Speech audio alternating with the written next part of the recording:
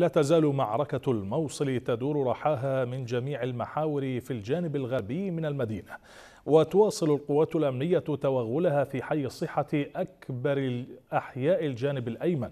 مصدر عسكري أفاد بأن قوات من جهاز مكافحة الإرهاب والشرطة الاتحادية تخوض حرب شوارع مع عناصر داعش داخل حي الصحة. فرضت سيطرتها على 50% من مساحتها مؤكدا صعوبة الوضع القتالي بسبب انتشار قناصة داعش بين الأزقة وعلى أسطح البنايات المأهولة بالسكان فضلا عن الانتحاريين والعجلات الملغمة.